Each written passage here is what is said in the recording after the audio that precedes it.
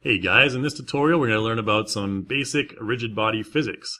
Uh, what I'm going to do is I'm going to construct a rocket from scratch and we're going to assign some physics values to that rocket and then we're going to launch it using something called initial force. So to get started, let's actually go ahead and construct our rocket. We're going to construct that from some basic 3D blocks we can find in our props folders here, uh, the props section, uh, props folder, and 3D blocks.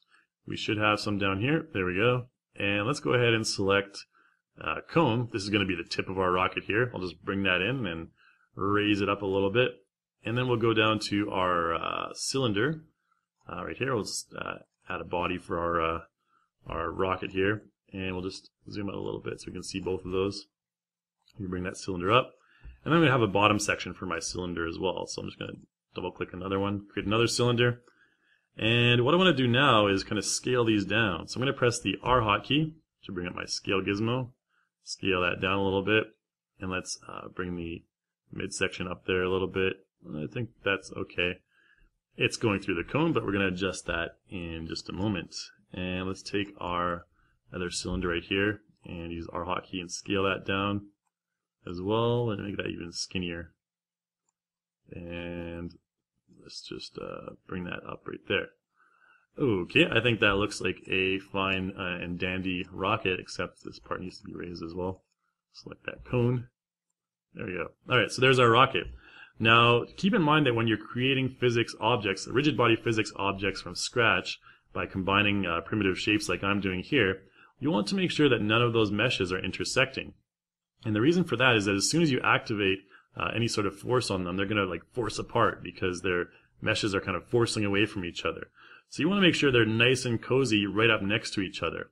And the way to do that is use the snap to model, uh, snap to model function. A cool little function I like to call snap to model.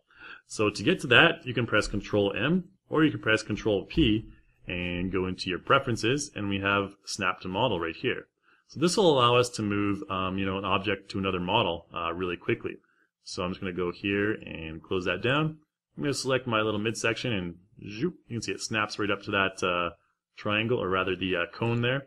And let's take the bottom section here and snap that up to the middle section. And then what I can do is uh, I'll just press Control. Uh, we'll uh, take off the snap to model now. You can see I want to align these all together uh, in the correct way. They align in a kind of a weird way. So I can actually just select them all, Control and click each one of them. And I can go to Align up here, Align Object, and align them on the x-axis and the y-axis. And then we have a perfect, uh, perfect, uh, perfectly symmetrical uh, rocket going on here. We don't want to align them on the z-axis because it'll look like that. So let's go ahead and keep it this way right here. And then I'll take this bottom section here, and I'm just going to move this bottom section maybe a little bit over to the side. There we go. And there's our rocket. And let's go ahead and take a look in the scene manager right now. You can see we have three separate objects. But what I want to do is attach these together. Uh, but before I do, I'm going to just quickly assign some material values to them. The top, you can go down to your material uh, settings here. Choose a diffuse color, maybe nice, uh, nice kind of maroon or, or red, whatever that is there.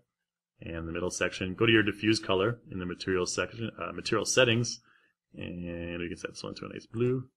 All right, that looks that looks a little bit better than just staring at a plain uh, white rocket. So to continue on, what we need to do is attach each section to each other. So uh, each section to the other one, actually. So we're going to create a hierarchy. And the easiest way to do that is just uh, right-click on your object and select Attach, and attach to the other object. So now you can see the cone is a child of the cylinder. And if I select them, the selection box is a little bit bigger. And the other way you can do it, if you, you can go over here to the uh, properties in the modified panel, and you go all the way down to uh, attach, and you can select pick parent, and you can pick that parent right there. And now we have the uh, three level hierarchy uh, for our uh, rocket right there. Uh, so we actually want to merge all these together now into a single mesh. Since we have no use for them to be apart, let's go up to edit and merge. And then they merge into one single object. So we have this, uh, you know, rocket. Our rocket's ready to go. That's about it for constructing the rocket. Let's assign some physics values to this rocket now. So I'm going to go over here to the physics tab and you can see everything is currently disabled because we have not activated the physics. So let's go ahead and activate that And now we have this uh, kind of cool looking bounding box uh, in the red wireframe around our rocket. So what does this bounding box do? Let's find out. Let's press play. And you can see it doesn't do much right now. It just kind of falls through the floor because we have nothing to prevent this rocket from falling through the floor. So to do that, uh, to prevent something from falling through the floor, we need an infinite plane. So I'm going to go over to the Content tab here, and in our Props folder, we have a folder called Physics Objects, uh, Physics Props. There we go. So double click on that. And then at the bottom here, we have this infinite plane.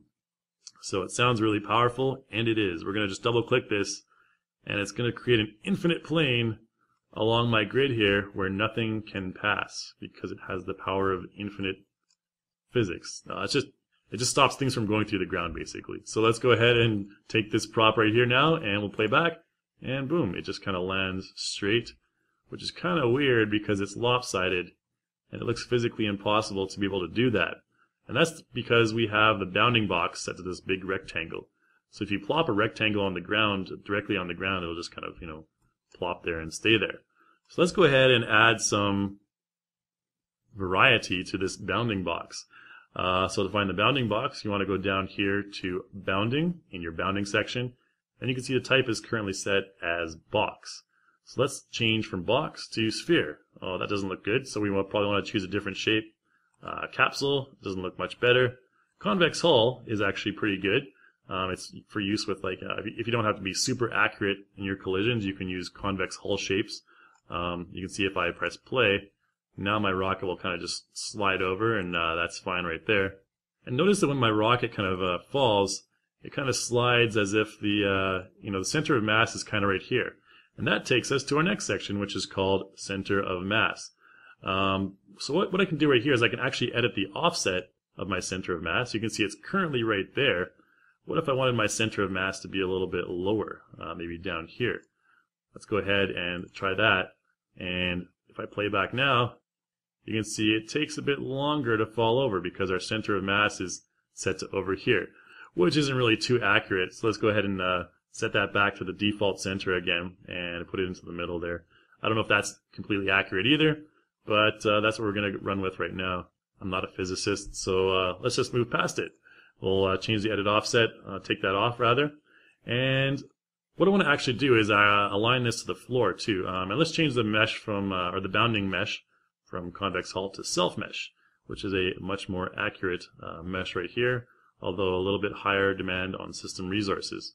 I want to align this to my uh, my infinite plane on the bottom there so it stops falling because we're going to launch it from the ground.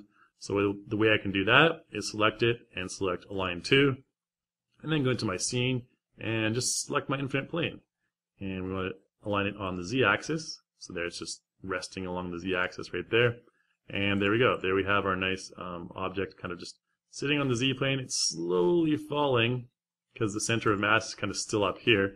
So what I want to do is let's go ahead and create some initial force. And the initial force is down here at the bottom. And we have the move, the uh, rotate values right here that we can adjust. And keep in mind that these values will go according to your world axis. Now I'd like to explain world axis versus local axis. So let's go ahead and take a little uh, gander in here. You can see that the uh, scene root right here has a red line, a green line, and a blue line, as does my prop. They are currently both on the world axis. But if I use the E hotkey and I rotate my prop, maybe about here, and I press the W hotkey, you can see it still has the world axis, but if I press W one more time, it'll switch over to its local axis. And that means it's this local props axis right here as opposed to the world axis. This doesn't matter when it comes to your initial force. So what we can just do is press Control Z, undo that, bring it back to its original position. Just keep in mind that initial force goes according to the world axis. So let's go ahead now and assign an initial force. We want this rocket to kind of shoot off in the direction going left. So you can see the x-axis is pointing to our right here. So we need to assign a value of maybe negative 200 to our x-axis, which means it'll go this this way instead of this way, so negative, away from the uh, line there. So you can see, boom, press play. That's our initial force. we have this initial force of 200 on our rocket. So that's kind of cool, but uh, rockets were meant for launching, obviously. So let's go ahead and try and launch this bad boy.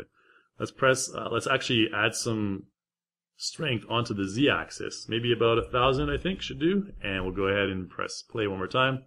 You can see our rocket will launch. Boom. Uh, looks pretty cool. But maybe we need to add some rotation value to that as well. So let's take a look at which axis we want it to rotate along. We probably want, to, want it to rotate around the green axis, uh, which is the y-axis, right here. So let's select a rotate value, uh, maybe something like uh, 25. Whoops, that would be way too much, 25. And let's see what uh, happens when I uh, press play. Let's see exactly how much rotation that adds. Whoa, that's a lot of rotation, and this thing kind of bounces off into infinity. Uh, so let's go ahead and change this rotate value First of all, to negative, because we want it to go this way. And second of all, we need a much lower value. So let's try something like negative 1 and press play and see what happens there. That looks a bit better. That looks a bit more natural. Uh, so let's go ahead and maybe even increase that a little bit to negative 1.5. And we'll zoom back a little bit and try that one more time. There you go. I like that, but it's really not enough um, motion on the enough force on the x-axis for me. So let's try negative uh, maybe 350 and press play. There we go. So we have that kind of that rocket launching pretty nicely there, and maybe even negative one. Let's give it a little bit more force on the x-axis. We want it to land right on its nose. Let's go ahead and uh, press play. There you go. That's kind of cool. Maybe negative 1.2. Let's try and make this thing land directly on its nose. Okay, good enough. So we have our first rocket. So that's kind of cool. We have initial force. But what if I want my initial force to uh, happen at a later location or a later time frame in my project? Let's create a couple of rockets now. And I'm going to do that by holding the control key and clicking and dragging on this rocket to create another copy. And we'll create another one over here. And so this one has all the same physics values assigned. That copies along with it. I'm going to create a third one. Hold control and copy one more time. Let's make, move this one over here. So now we have three rockets. If I press play, they'll all launch at the same time and all land exactly the same. But what if I want them to uh, launch at different times? Well, rockets will only, or rather objects, physics objects will only launch when they're assigned a dynamic physics state. So if we go up here, let's take a look at these physics types. We have dynamic, kinematic, static, and frozen. So a brief explanation of these. Dynamic physics objects will be affected by any other physics objects, uh, even gravity. So right off the bat, they'll fall. Uh, if they're hit by other physics objects, they'll be they'll fly off. Uh, they're the, it's really the wimpiest, um, you know, physics property. Uh, and then we have uh, frozen. So frozen will stay in place until another object inter- uh, another, another object interacts with it. So it'll basically stay frozen until something hits it. Uh, kinematic is the physics state we use for stuff that we control. So if you have a you know a ball moving along a path or something like that, obviously you can't use dynamic physics because it wouldn't move along the path. So you have to use a kinematic state, which means you can control it, but it still contains physics. Uh, the static state here is basically used for walls and, and floors and stuff like that, like your infinite plane here. It is the most powerful state and it won't change. And then of course we have all these values down here, mass, friction, damping, uh, elasticity. And uh, these ones here, we're not going to go into the, these in this tutorial. Um, you can kind of look those up, but we'll go into them in another separate tutorial here. So the original point here was to actually get to uh, launching the rockets at different times. So first of all, what I need to do is I need to actually go up here and remove rigid body simulation. So once I do that, if I press play, these will actually still launch because they contain physics animations. For example, if I select this uh, rocket right here and I press F3 to go into my timeline, you can see my cylinder is selected. And if we go into animation, you can see there is a physics animation uh, clip in the animation track right there and that's the animation that we have. If I right click on that and remove object animation, that clip will be removed.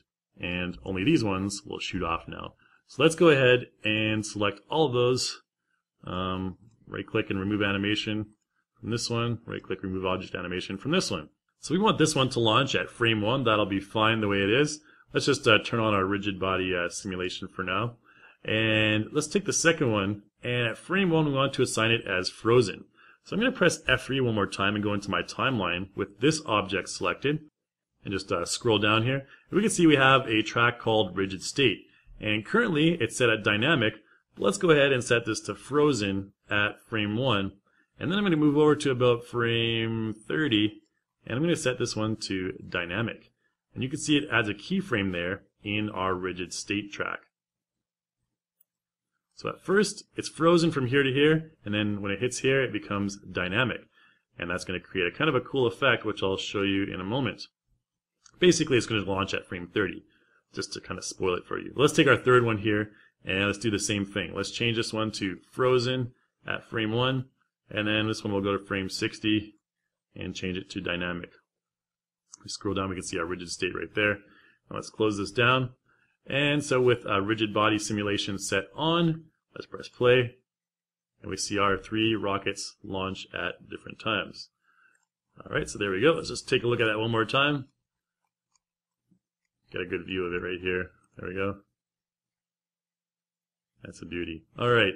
So there we have our three, uh, three rockets launching at separate times. And that's basically how you use initial force. Um, you can combine that with, uh, you know, adjusting your physics states, and you can even mess around with the properties, uh, your mass and friction and all that stuff.